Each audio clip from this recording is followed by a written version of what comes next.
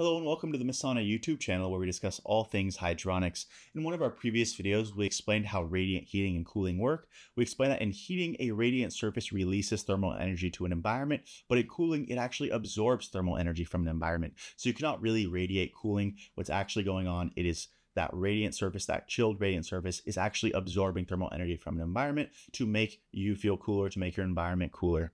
Um, and so we've already discussed this in the past, but radiant cooling has always been a battle between the radiant surface temperature and the dew point temperature. And if that radiant surface temperature falls below the dew point, condensation forms. And so it's all about avoiding that. And so in the past, what people have done is used what's called a fixed water temperature system. So they know that their dew point in their environment, wherever they live, is around 50 to 55 degrees at all times. So then they'd set a constant water temperature of 60 to 65 degrees, which would be a notable distance above that dew point temperature. And so that works. That'll provide some level of cooling, but the distance that you're above the dew point is actually cooling that you're missing out on. And so here at Messana, we have pioneered our variable temperature system where we use our intelligent sensors and controls that monitor that dew point. And then our controls can adjust the radiant surface temperature using mixing valves to make sure that the radiant surface really follows the dew point as closely as possible to maximize cooling output.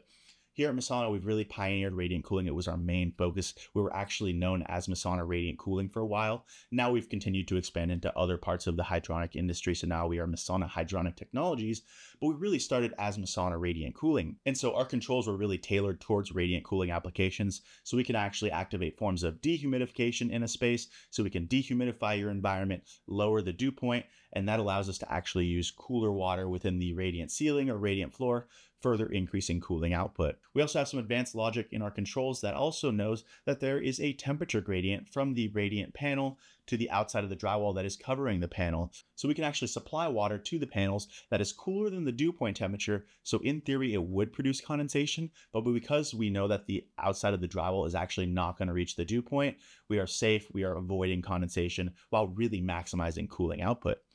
If you're interested in a Messana system, we have a nice Get Started tab on our website where you can go ahead and request a free estimate. You can input what you want, whether it be a radiant ceiling or radiant floor, hydronic fan coils. You can also let us know your energy source. You can upload your floor plans, your square footage, and it'll spit out an estimate or put you in contact with some of our hydronics experts so we can give you some insights as to what your project might entail.